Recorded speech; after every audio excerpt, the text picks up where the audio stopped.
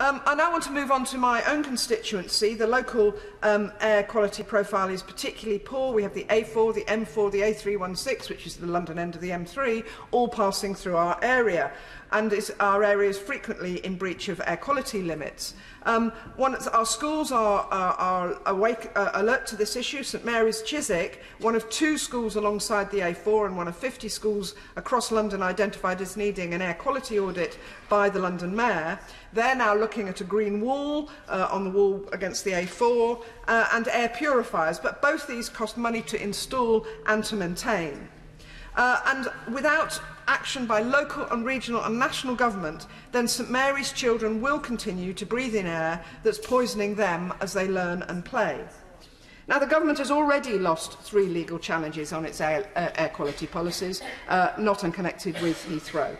So, all, um, there's, a, there's a growing evidence of the ground impact of pollution from planes themselves, as I've already mentioned. So, Madam Deputy Speaker, I will conclude by saying how is expanding Heathrow in an area of the country already, already in, consistently in breach of legal limits on air quality doing anything to stop the UK going back to becoming the dirty man of Europe?